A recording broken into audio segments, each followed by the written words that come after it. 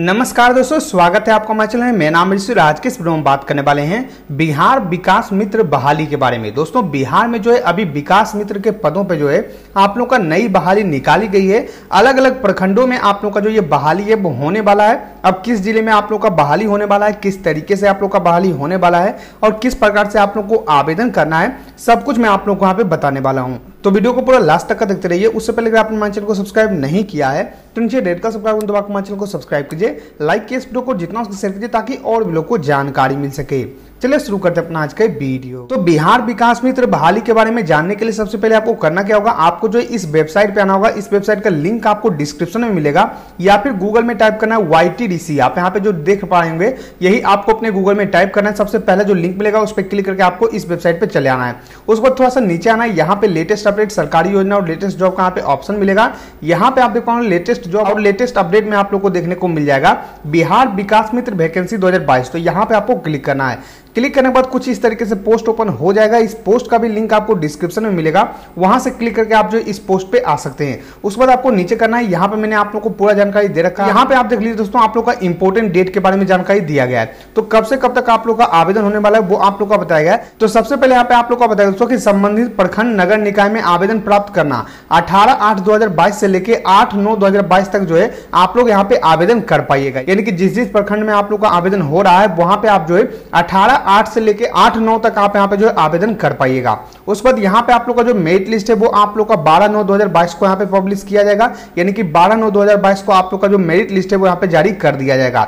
उसके बाद अगर आपको कोई आपत्ति है तो पंद्रह नौ से लेकर चौबीस तारीख तक आप यहाँ पे आपत्ति दर्ज कर सकते हैं। और अंतिम आप लोग का जो फाइनल मेरिट लिस्ट होता है, वो बारह दस दो को यहाँ पे पब्लिश किया जाएगा। तो ये जो है आप लोग का इंपॉर्टेंट डेट जो है बताया गया तो आप इसको एक बार अच्छी तरीके से देख लीजिएगा। उसके बाद यहाँ पे आप लोग का आवेदन प्रक्रिया बताया गया। तो सबसे पहले मैं आप लोग को यहाँ पे बता देता हूँ दोस्तों, कि ये जो आप लोग का बहाली है, वो आप लोग का गया की तरफ़ से यहाँ पे निकाला गया है। यानी कि गया ज़िले की तरफ़ से आप लोग का ये जो बहाली है, वो निकल के आ रहा है। यहाँ पे इसके लिए आप लोग को ऑफलाइन आवेदन करना होगा, ऑनलाइन इसका आवेदन नहीं होता है। यहाँ पे देख लीजिए आप लोग का बताएगा कि इन पदों के लिए आवेदन ऑफलाइन के माध्यम से लिया जाएगा, इन पदों के लिए आवेदन करने के लिए। आवेदक इसका विहित प्रपत्र संबंधित प्रखंड कार्यालय, नगर निगम, नगर परिषद, नगर पंचायत से प्राप्त कर सकते हैं। यानी कि इन सभी जगहों पे आप लोग का जो फॉर्म है, वो देखने को मिल जाएगा। और यहाँ पे आप लोग को फॉर्म भरकर यहाँ पे आप लोग का एक एड्रेस दिया गया है कि संबंधित प्रखंड विकास पदाधिकारी, यानी कि जिस भी प्रखंड के लिए आप यहाँ पे आवेदन कर रहे हैं, उसके प्रखंड विकास पदाधिकारी जो होंगे, वहाँ पे जाकर आप लोग को जो है इस फॉर्म को जमा करना है। इस बात का आप लोग को ध्यान रखना है। यहाँ पे आप देख लीजिए, शहरी क्षेत्र के कार्यपालक पदाधिकारी, नगर निगम गया, नगर परिषद बोध गया का कार्यालय में जो है आप लोग को यहाँ पे जमा करना है। तो इस तरीके से आप लोग यहाँ पे बताया गया उसके बाद यहाँ पे वैकेंसी के बारे में डिटेल में जानकारी दिया गया है कि आप लोग का किन किन प्रखंडों में कितना आप लोग का पद रहने वाला है, पंचायत और वार्ड का यहाँ पे नाम आप लोग का बताया गया, आरक्षण का कोटि आप लोग का बताया गया कि कौन कौन से लोग यहाँ पे आवेदन कर सकते हैं। तो यहाँ पे आप महिला जो है आवेदन कर सकते हैं, सामान्य वाले यहाँ पे आवेदन कर सकते हैं। तो इस तरीके से आप लोग का पूरा बताया गया। आप इसको एक बार देख लीजिएगा। लगभग आठ प्रखंड में जो है आप लोग का ये बहाली निकाला गया है। उसके बाद आपको नीचे करना तो यहाँ पे क्वालिफिकेशन की बात करें दोस्तों तो यहाँ पे अगर आप मैट्रिक पास है तो यहाँ पे आवेदन कर सकते हैं लेकिन अगर यहाँ पे जो मैट्रिक पास आवेदन नहीं करते हैं तो ऐसे में जो नन मैट्रिक वाले होंगे जैसे आठवीं नौवीं पांचवीं वाले जो छात्र हैं उनका भी यहाँ पे सिलेक्शन हो सकता है ये आप लोग का बताया गया है तो यहाँ पे अगर आप पांचवीं पास हैं तो भी आप यहाँ पे आवेदन कर सकते हैं उसके बाद यहाँ पे इंपोर्टेंट डॉक्यूमेंट तो शैक्षणिक प्रमाण पत्र आप लोग का लगने वाला जो भी आप लोग का यहाँ पे सर्टिफिकेट होगा वो आप लोग का यहाँ पे लगने वाला है जाति प्रमाण पत्र लगने वाला है अस्थायी निवास प्रमाण पत्र लगने वाला है उसके बाद नीचे करना है एज लिमिट अठारह से साठ साल आप लोग का रहने वाला है। यहाँ पे 18 साल से लेके जो है 60 साल के जितने भी लोग हैं, वो यहाँ पे आवेदन कर पाएँगे। नीचे आप लोग को डाउनलोड नोटिफिकेशन का ऑप्शन है क्लिक पे आप क्लिक कीजिएगा।